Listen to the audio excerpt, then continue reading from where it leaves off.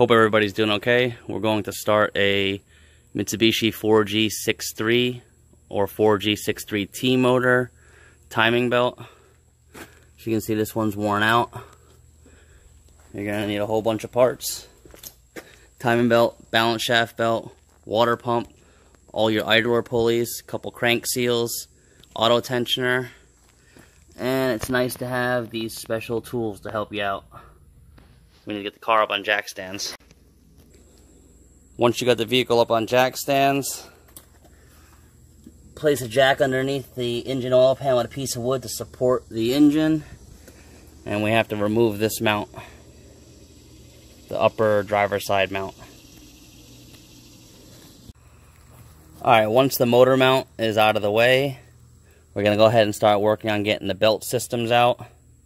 AC belt, power steering belt, water pump belt, all that good stuff, whatever's down there. Um, we'll have to break free some of the bolts before we take the belts off. It'll make it easier. Alright, after you move all the belt system, power steering, alternator, AC compressor, you get the lower splash shield removed. You can start to see everything. The next thing to do is remove the four 12 millimeter bolts holding the crank pulley on.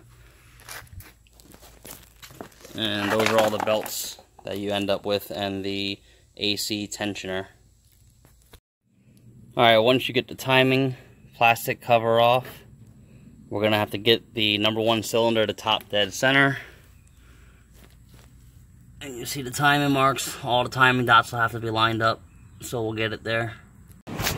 Alright, once you have everything at TDC, I like to use a little rod got that special tool right there. And everything's lined up. This locks the cams from rotating. It makes it super easy. To take the belt off, you're just gonna loosen up this tensioner here and slide the belt off. And then we're gonna get all the tensioners off and put new ones on. Alright, with the timing belt removed and all the tensioner pulleys, idler pulleys, you can remove the water pump. Make sure you change the small O-ring on the water jacket neck back there. And we'll get the water pump on. I like to put RTV on both sides of the water pump gasket for extra assurance. After you get the timing belt off, you're going to have to pull off the 21 millimeter nut, the crank sprocket, the, I believe the reluctor ring it's called. You're going to get down to your balance shaft belt. Make sure your mark is aligned with the notch here. Put on a new tensioner and you'll be aligned with the dot up there. And just put a little screwdriver and put some tension up there and tighten this bolt up. And you want to have a little bit of play in there. You don't want it too tight. And we're going to get everything back on. So you put back on your little ring here. And the beveled side goes towards the engine. Then we're going to put back on the crank sprocket.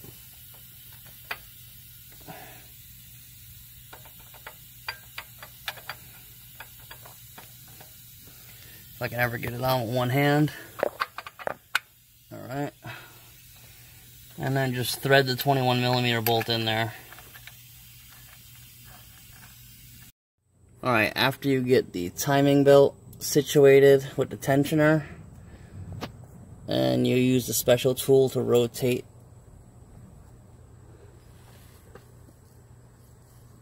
Oh, let me get my hand up there. Jeez.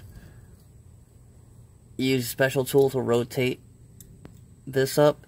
The object is to get the grenade pin to slide in and out freely and that's how you know you have the proper tension on this belt. So we're going to bar it over a few times and make sure everything's good Alright, after you get the time belt back on, you're going to want to test it before you put everything back together in case something's wrong after you bar the engine over six, seven times. Go ahead and hit it, man.